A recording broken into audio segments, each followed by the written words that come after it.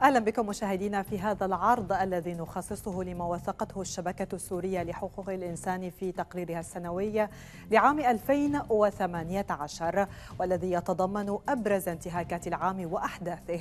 وقد وثقت الشبكة عدد المجازر التي ارتكبتها قوات الأسد والقوات الروسية وكذلك قوات التحالف الدولي وكانت على الشكل التالي.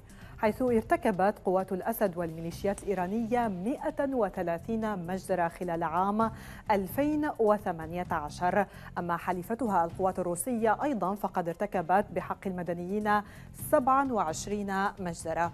بدوره التحالف الدولي ارتكب أيضا 28 مجزرة.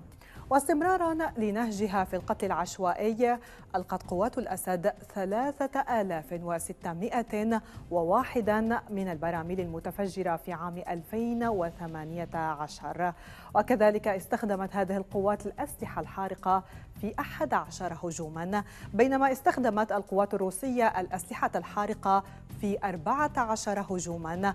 والتحالف الدولي استخدمها في ثلاث هجمات.